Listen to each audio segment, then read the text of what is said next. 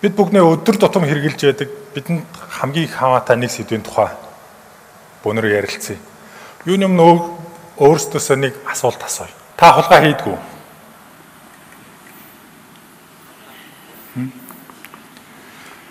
Тэгвэл дараагийн асуулт. Өнөөдөр таны гар утсан дээр компьютер дээр байгаа дуу нэг бүрийг та өөрөө худалдаж авсан уу? За эхэллээ тийм. Тэгэхээр үгүй. Тэгэхээр бид нар яг гэхээр хулгайч. Өмнө нь хулгай хийж исэн юм байна. Гэхдээ та нар яг бүгдээрээ хөгжим ямар үн өртгөөр бүтдгийг мэдхүү. 1 сая доллар 2.5 тэрбум төгрөг. Маш их мөнгө те. Хэрвээ ийм мөнгө биднэрт байсан бол юу их бол? Янз бүрийн юм болдсон. Гэхдээ энэ мөнгөөр олон улсад танигдсан ганцхан ширхэг уран бүтээлч гаргах хөрөнгө оруулалт. Тийм үү? Олон улсын IFPI гээд байгууллагаас 2004 онд нэг судалгаа явуулсан юм байлээ л дээ. Тэр судалгаагаар яах вэ гэхээр олон улсад танигдсан уран бүтээлч гаргахын тулд нэг хүнд л 500 мянгаас 2 сая долларын хөрөнгө оруулалт хийдэг байна. Тийм үү?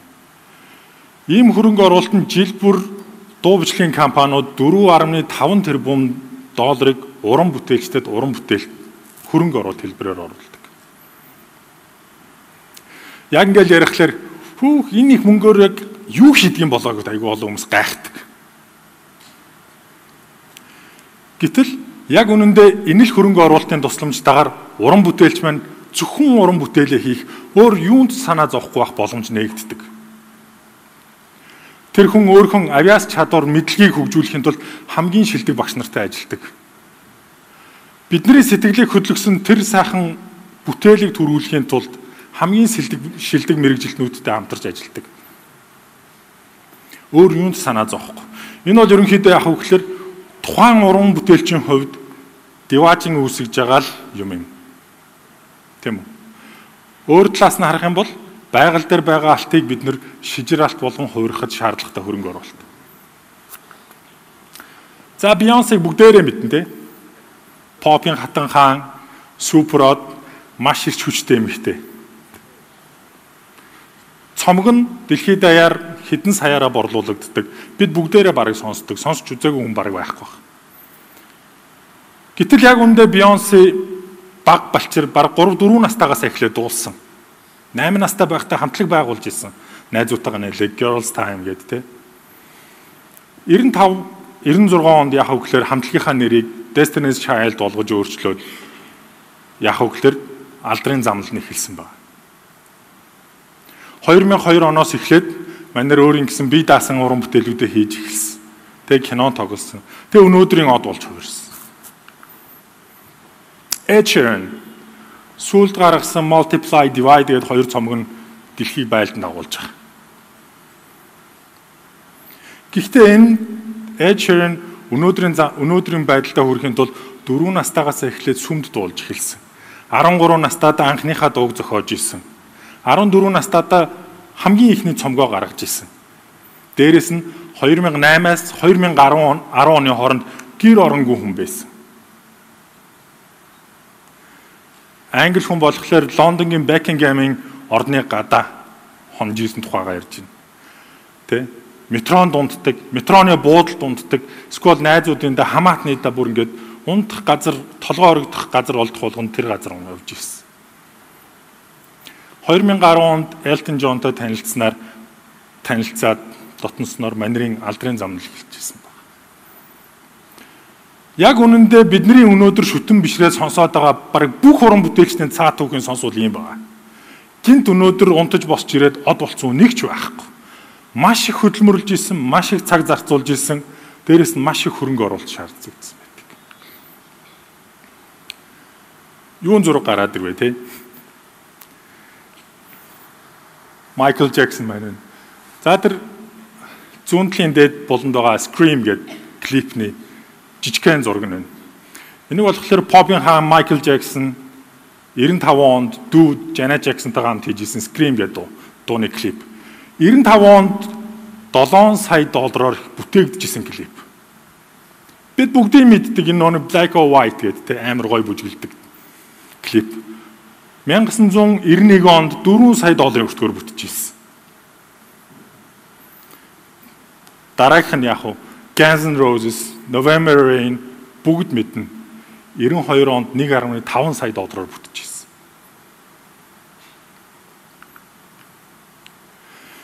Энд чи яг харьцаагийн уг нь хадгалъя гэсэн чинь нэгэн тон бүр харагдахгүй болоод илээ л дээ. Өөрөөр хэлбэл саяны хөрөнгө оруулалт болохоор бидний ярьдаг 1% авьяас 99% хөдөлмөр гэдгийн 99% нь бүтээхэд зориулагдж байгаа хөрөнгө оруулалт юм. Гэтэл бид нар яаж юм? Сая нээлтээ сууж шít тийм үү? Яагаад инээлддэг вэ? Яагаад түрүүн инээлдсэн бэ? Яагаад ийм үн цэнгүй байна вэ гэхээр бид нар ямармаа нэгэн бит зүйлийг харахаар үн цэнийг мэдэрдэг. Шууд хараад мэдэж болдог. Гэтэл оюуны бүтээл хөгжим биднэрт харагддгүй ихэнх тохиолдолд баригддгүй учраас бид нар үн цэнийг сайн мэддэггүй. Би ч гэсэн яг адилхан хизээ чи яагаад чи бид нар дуу хөгжим үнгүй байдаг. Зүгээр л интернетээс татаад авчдаг зүйл гэж ойлгодог байсан. Энэ бүгднийг ойлгоод мэдрээд эхлэхлээр бид нар шал өөр нүдээр харж эхэлж байгаа. Гэтэл сүүлийн үеийн дэлхийн чин хамгийн сонин юм нэг юм ажиглагдсан юу вэ гэхээр хинч хулгай хийх дургүй юм байна. Тэ? Дуртай хүн байна уу гараа өргөж? Байхгүй бах. Сонирхолтой хүн бас байхгүй юм байна. Энэ трийг нь бид нар юунаас харж болох вэ гэхээр ерөөсөө л сүүлийн үеийн өөрчлөлт чиг хандлага хүмүүсийн ухамсар ойлголтоос харж байна. За. Өмнө нь яагаад хулгай их байсан бэ? Эсвэл яагаад сүүлийн үед хулгай буураад байгаа вэ? Яагаад хууль ёсны хэрэглээ нэмэгдээд байгаа вэ гэхээр хоёрхан л юм харагдаж ах шиг байгаа цаана нөлөө. Тэр нь хүртээмж ба үнц юм. Америкийн цахиурын хөндийн томоохон сэтгэгчтэй нэг Тим Орайли гэдэг хүн байдаг. Тэрний нэг номыг нь компанийн номыг нь би худалдаж аваад тэгсэн чинь надад өөрийнхөө номыг бэлгэлж ирсэн. Нөгөөх нь уншаа сууж байхад нэг юм ойлгосон. Тэр номон дээр нь маш ойлгомжтойгоор бичсэн байсан. Оюуны өмчийн хулгайтай тэмцэх хамгийн шилдэг арга бол хүртээмжтэй болгох. Боломжийн үнэтэй болгох. Тэрнээс биш тэрийг мянга хадгалж хамгаалаад ч ямар ч нэмэр болохгүй. Хамгийн энгийн жишээ бүгдээрээ аваад үзье. Ус. Бидний ам цангаж байна, тийм үү? Төсөөлөд үзье Бидний халаасанд мөнгө байна. Гэхдээ та нарт хинт ч ус зарахгүй байна гэж төсөөл. Сквол нэг нэг аягийг нь та нарт 10 мянган төгрөгөөр зарах гад байна гэж төсөөлцгөө. Биднэрт ямар сонголт өгдөгөө? Хэн зарахгүй байгаа юм чинь за за цангаад өгчийгээд өгөх болов эсвэл яаж хийж байгаад олоод уух болов? Тэгэхээр үүнтэй адилхан бас өөр нэг саяхны жишээнүүдийг яриа. Бид нар амар мартамхай улсууд байлаа л дээ. Тэр нь юу гэхээр хэдхэн жилийн өмнө бид нар гадаад киног үзэхийн тулд яаж үздэг байсан бэ? Өргөө нэгдэхээс өмнө шүү дээ. Интернетээс татж үздэг байсан. Яг гэвэл хаач байхгүй. Тэгвэл мэдээж интернетээс татсан кинон дуу дүрс бол угаасаа авах юм байхгүй амар муу тий. Тэгвэл хамгийн гол юм нь бидний тэнцээ дотор байгаа цангааг маш бага ч гэсэн тайлж ирсэн. Өнөөдөр бид нэр дуртай кино театрт очиод дуртай киногоо дүрс дууны маш өндөр чанартайгаар дээрэс нь яг үгээр бүтээгчийн хөргөх гэсэн тэрэл зүйлийг бид нар хүлээж авах боломжтой болчихсон. 2003 онд iTunes нэгтээс өмнө баг интернет дээр дуу худалдаж цахим хэлбэрээр худалдаж авах боломж бас баг байгаагүй. Тэр үед хүмүүс CD худалдаж аваад нөгөөдгөө компьютертэй игээд хуулаад найздаа өгөөд нөгөөдгөө интернетээр нэг тараагаад ерөөсөө яг л тийм л аргаар дуу хөгжим бид нэр олж авч хэрэгэлдэг байсан те. Өнөөдөр байхгүй. Ягаад гэвэл iTunes байна биднэрт. Дэлхийн хаанаас ч та 99 цент төлөөд дуртай дуу худалдаж авч болно. Дэлхийн хаанаас ч 9 доллар 99 цент төлөөд дуртай цомгоо худалдаад авчиж болно. Яг үүнтэй адилхан нэг жишээ надад байгаа. Тэр нь юу гэхээр 2000 11 оны сүүлээр би дуртай нэг хэдэн дууныхаа үгийг интернетээр хайгаад олоогүй. Яагаад юм мэдэхгүй. Яагаад ч юм байгаагүй. Тэгээ хэдэн дүүнэртэйгээ нээлж байгаа. За бүгдээрээ нэг дууны нэгдсэн сайт хийчихвэл яасан юм. За тэгье. Сууж байгаа нэг 2-7 хоногийн дотор хийгээл дуусгацсан. Интернет тавьсан хүмүүс хэрэглээд үу яагаад ийм амархан байж болоогүй болоо өмнө нь. Тэ?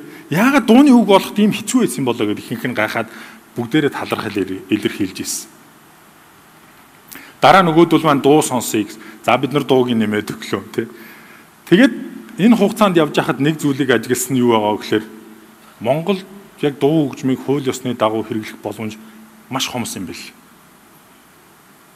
Манай хамтлаг дуучин CD гаргахаа бараг болцсон. Гаргаж исэн CD-нүүд нь зарагдаад дуусчихсан тий. Хаанаас хэрэглэх?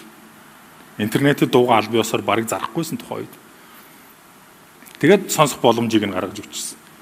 Дараа нь яг хуу гадаад байгаа монголчууд дэлхийд даяар байгаа монгол туурахтнууд бас л нэг л биз. Бид нар худалдаж авмаар байна. Мөнгөний төлмөр шүү дээ.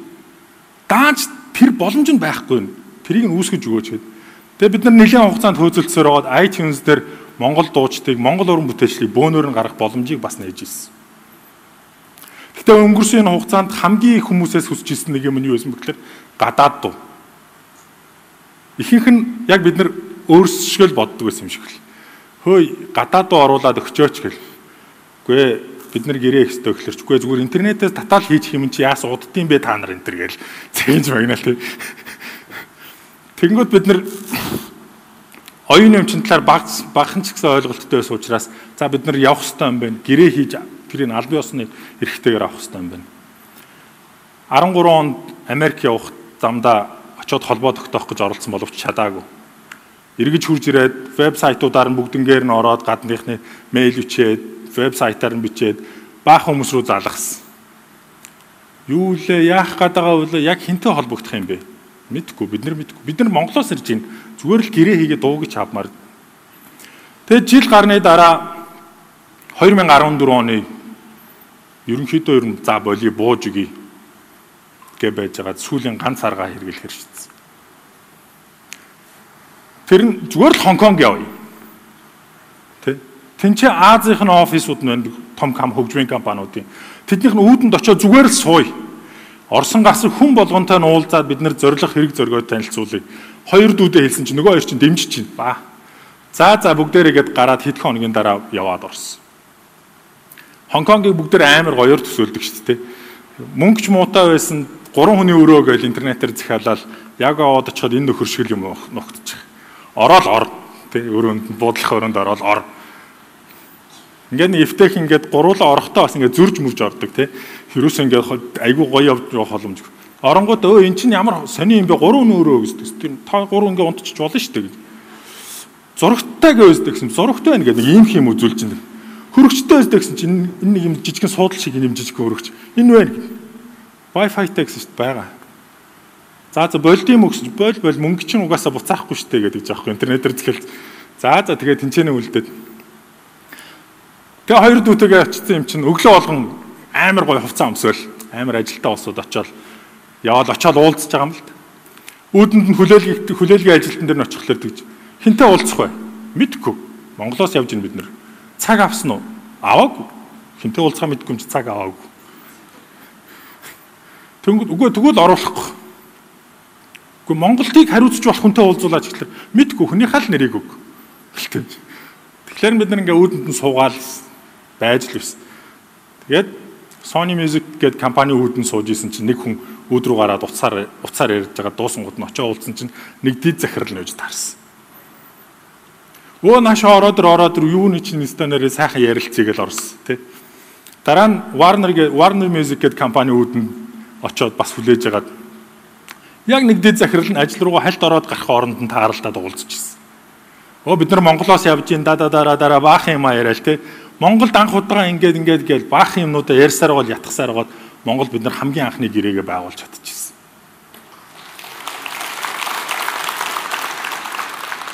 Энэ ярианы хамгийн хэцүү юм нь юу байсан бэ гэхээр за Монгол улстай ийм гой сайхан орморон гэдэг хөдөөн нутг мутга үзүүлж байгаа л 3 сая хүнтэй гээл тэгэхээр за манайх ч одоо тэрбум гарan хүнтэй хятадд асуудалтай байна. Юу Монгол гэсэн байдалтай яриа л те. Хэдэн сая хүнтэй хэдэн 10 сая хүнтэй Вьетнам дээр бид нэр асуудалтай байна. Монгол уу гээл нэг тиймэрхүү. Гүйгүй өстө нэр жижиг орон дээр бид нар бас ингээ гоё нэвтрүүлээ та нар туршлагатай олчвол энэ төр гэл нөгөөдгөө фанаалдаал тий. Тэгж тэгж яагаад бид нар гэрээ байгуулсан тий. Гэрээ байгуулах анх тэгж уулзнаас хойш гэрээ байгуулах хүртэл бараг жил болсон. Юугаач мэдгүй. Олон улсын хөгжмийн зах зээлийн тухай юугаач мэдгүй хэдэн гараад. За энэ чи артал дээр түншүүдтэйгээ уулзах гойцсон чинь буудлынхаа өрөөнд хоёроос уулзалттай байдаг. Тэгсэн чинь 2 цагаас буудлынхаа өрөөнд орё. Тэг яах юм тэгвэл хоёр 0-д ороод хуцаас солих гэж. Ингээ 0-д ороо хуцаас солих. Зүрх.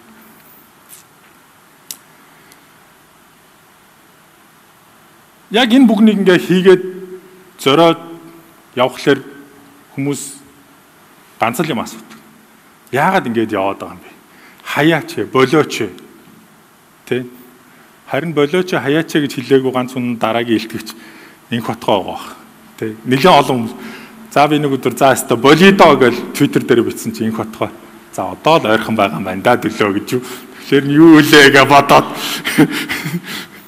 яагаад гэсэн чинь яг жоохон гүрэжлэр л амжилт ичдэг байхгүй яг тэгэхээр би нэрээ тийм ч юм болоо гэж бодоод гүрээсээр өнөөдөр хүрчихсэн тийм. Яагаад энэ бүгдийг хийгээд байгаа юм бэ? Өнөөдөр энэ тайзан дээр маш олон хүмүүс гарч ирж тоглолт хийсэн. Бүгдээрээ авиастай хөдөлмөрлсөн. Гэхдээ би хөгжим тоглож чадахгүй. Алийг нь ч тоглож чадахгүй. Хөгжмийг бол зохиож бол бүр чадахгүй. Авиас байхгүй байхгүй. Гэхдээ би юу яадаг вэ гэхээр хөгжим сонсголоор өө энэ яаж ингэж гой ингэж оноо шүлгэлцдэг юм бол тэ Яаж ингэж нотыг ингэж холбож бичлэхээр миний энэ дотор байгаа юмыг ингэ хөдөлгөөд идэг юм бол гэ гайхаад бишэр сонсдог хөгжмийг. Гэтэл тэр хөгжим нь яг бүх хүмүүс нэм хүртээмжтэй байхгүй байгаа учраас хүмүүс аргагүй ихэнд бас хулгайч хийгээд байгаа юм шиг санагдсан. Тийм учраас яг хөглөр өөрийнхөө Энэ хоёрын хэрэглэгч уран бүтээлч хоёрын хооронд нэг юм жижигхэн уран бүтээлийн гүүр хийчих гээд өнөөдөр хүртэл гүрийгээд яваад байгаа.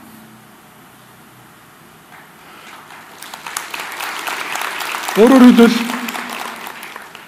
хүн хөгжмийг хүлээж авахд тийм хэцүү байх ёсгүй. Маш амархан байх ёстой. Уцаа гаргаж ирэл падгал дарахад байж ах тий. Компьютер асгаал ингэхэд байж ах хэвээр. Одоо хамгийн сүүлийн асуулт. Бүгдээрээ ямар их хүч хөдөлмөрөөр тэр уран бүтээлийг бүтдгийг мэдлээ. Тинчээ төрцөн байгаа тэр уран бүтээлийг хэрэглэгчд хүрэхийн тулд дунд нь завсарна те маш олон хүмүүс хөдөлмөрлөдгийг олж мэдлээ. Ахаа та нар хулгай хийх үү? Гүү байлгүй дээ те. За баярлалаа.